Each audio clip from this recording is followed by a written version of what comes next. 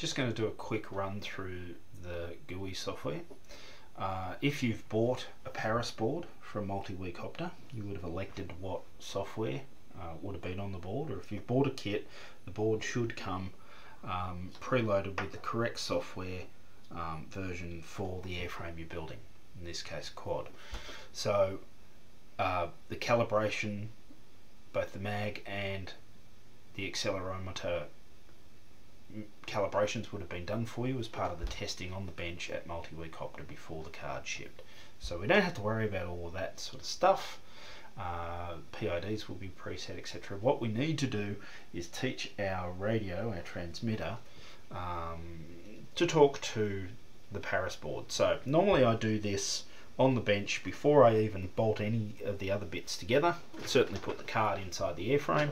I take the card out, I connect it to the receiver as per the wiring diagram and connect it up to the computer like so and I set the radio up. Now we're in a new model, it's a normal aircraft uh, as in an acrobatic plane um, and uh, we're going to assign some auxiliary switches to, to, the, to two channels uh, but we'll get to that later. I assume you know how to do all of that with your particular radios. So the first thing I need to do is select the serial port that the um, USB is connected to and we just wait a second for the LEDs on the Paris board to stop flashing and then we connect, click start and we've got all the parameters coming back from the Paris board to the GUI. So this is all completely live data so if I pick up the quad and start moving it around. We can see over here the image of the quad moving. We can see what roll angle what pitch angle we're getting. We can see which way the compass thinks we're pointing the mag the mag sensor and over here we can graphically see all the things we're doing. And we can see what the accelerometer is sensing the gyro sensing the mag is sensing and our altitude and heading according to barometer. We've got no GPS data at the moment because we don't have a GPS on this board. If you bought a GPS version that needs to be connected or you will start to get errors showing up here and incorrect data. So if you bought it with a GPS you have to have that connected while you're doing all of this. Okay, debug's all showing zero errors are showing zero. That's all good fine and wonderful. So everything's connected and we're talking okay as far as the board is concerned.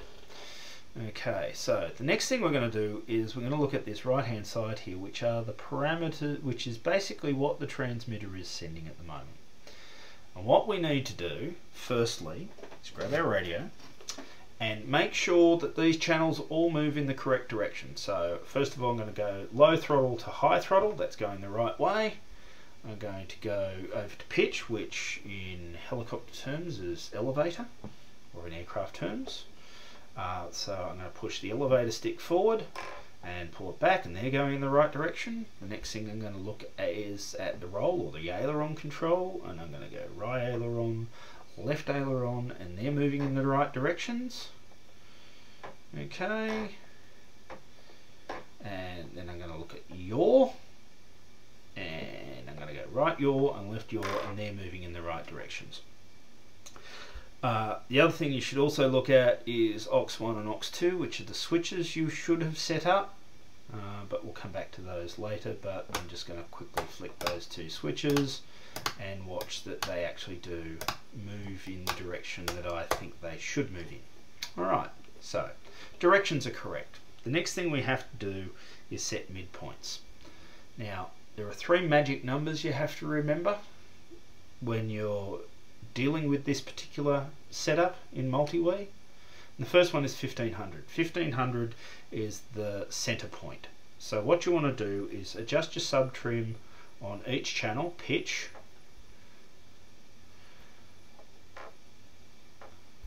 roll, and yaw. I don't bother on throttle with center point because it's not really that critical.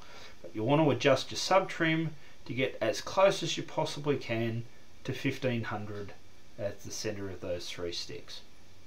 Okay, they're all very close.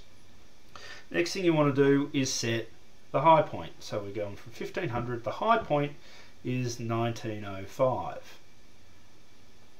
So we can see there I've gone from 1906, 1904, 1906, that's near 1905. Lovely. Okay.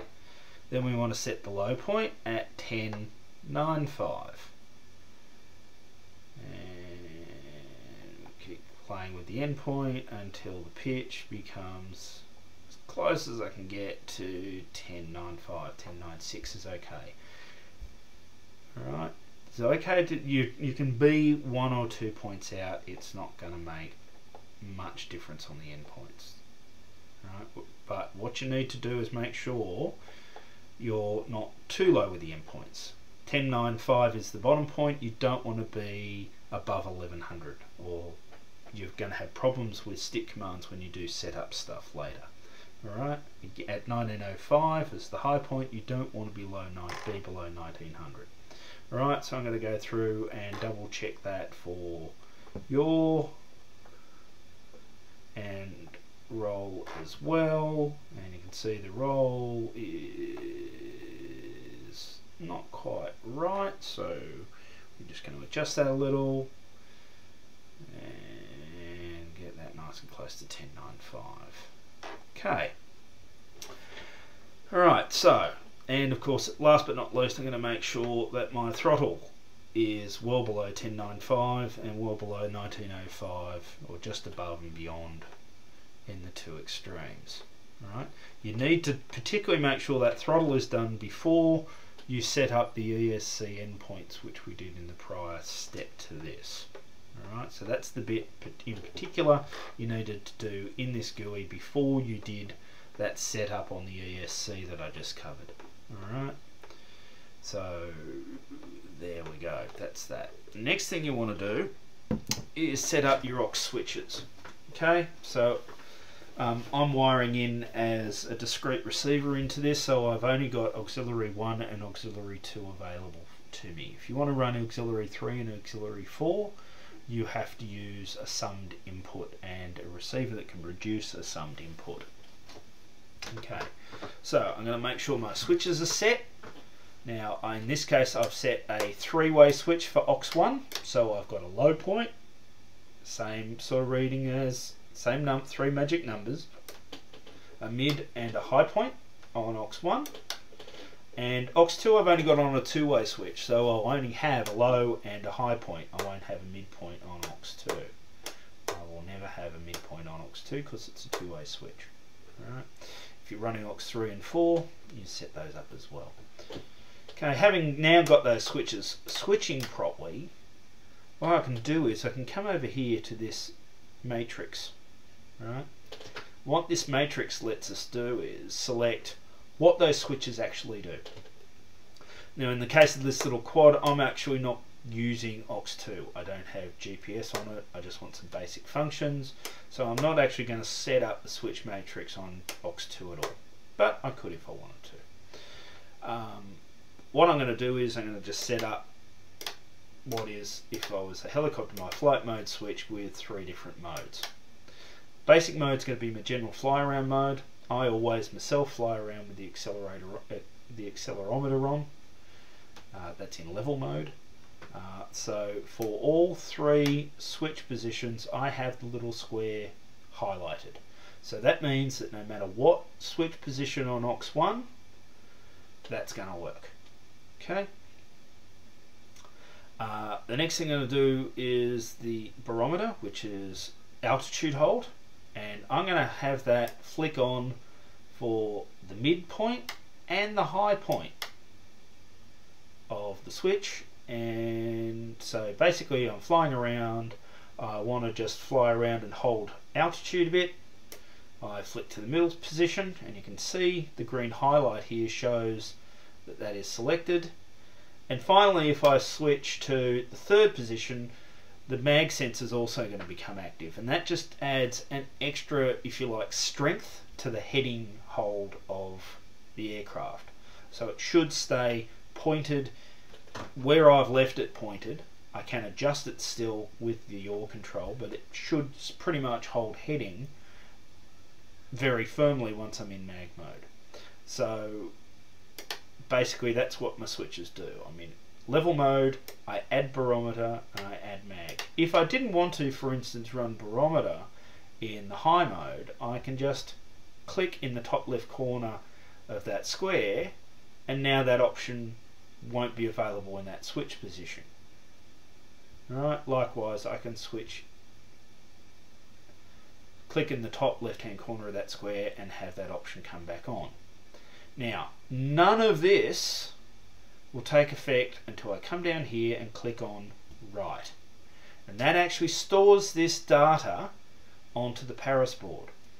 Any changes I make in any of these parameters won't exist on the board until I click write.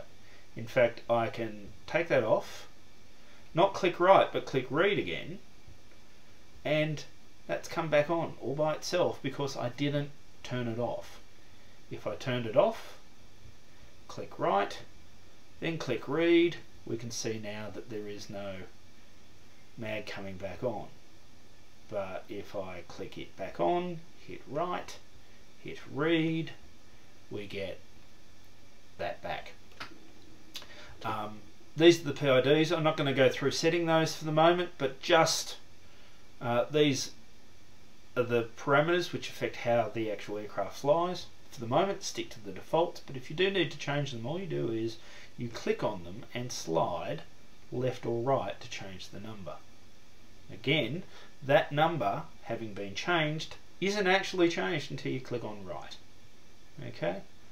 And then read to get back to where you were, to confirm that you're back and got the number you want. Okay? You have a reset button down here that will set default parameters in the flight board. Unless you're really stuck, I wouldn't actually ever use it. Calibrate accelerometer and calibrate mag. I'm not going to go through at this point in time because your board would have had those already done. If you load new code, you need to do or you change a lot of the parameters within it, you should redo your accelerometer and mag calibrations again. Um, there's a lot of information on the MultiWii Copter website on how to do those. Okay. Up the top here you have an option now to save those parameters. So having set all this up you can just save that as a file which later you can load using the load button. But I don't need to do those. They're there as options. Um, and basically that's all set the way I wanted to, do, to want it to be. So now I can just close that software or close comms and disconnect from the board and that will all be right to go. Uh, don't forget you need to do the throttle settings before you teach the ESC the endpoints of your throttle channel.